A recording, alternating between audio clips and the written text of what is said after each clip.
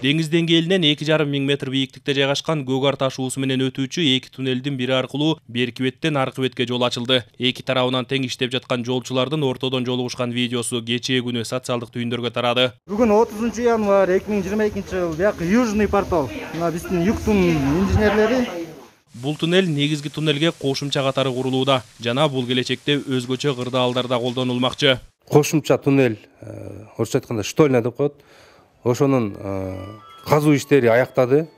Эми бетон менен э, бекемдөө иштери жүргүзүлөт.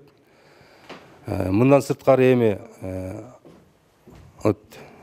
чоң туннелибиздин жумуштарын тездетүүгө буюрса жол ачылды деп эсептесек болот түндүк түштүк альтернативдүү жолунун биринчи фазасындагы туннелдин узундугу төрт чакырымдай туурасы он метр бийиктиги сегиз жарым метр. Азыр эки миң тогуз жүз токсон бир метри салынып бүттү калган бир чакырымдай эки миң жыйырма экинчи жылдын биринчи ноябрында аяктайт жол куруу жумуштары менен узаган жылдын аягында өлкө башчысы да жеринен таанышкан болчу. Президент курулуш сапаттуу жана өз убагында бүтүшү керек деген тапшырманы койгон. Төрт жүз отуз үч чакырымга созулган жолду салуу негизинен үч бөлүккө бөлүнүп аткарылып жатат. Биринчи фазада жүз элүү бүтүн ондон тогуз чакырым жол жана үч бүтүн ондон сегиз чакырым туннелди куруу каралган.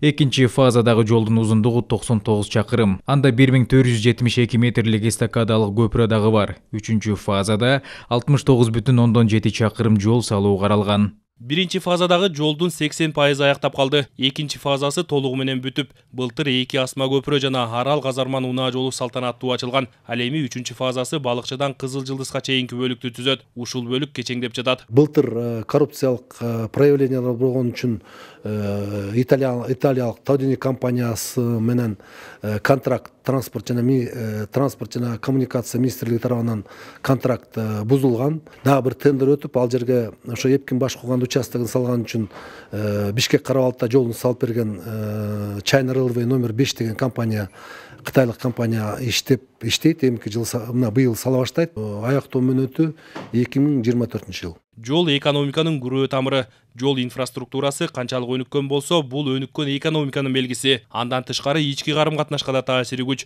маселен түндүк түштүк альтернативдүү жолдун аякташы менен алыскы тогуз тороо районунун тургундары беш алты саатта бишкекке жете келишет мурда бул жол он он эки саатка чейин созулчу. Анын жолдун категориясын да чоңойтуп коюп эле под нагрузку например он үч тонна он беш тонна болсо дагы ограничение веса болбой калат.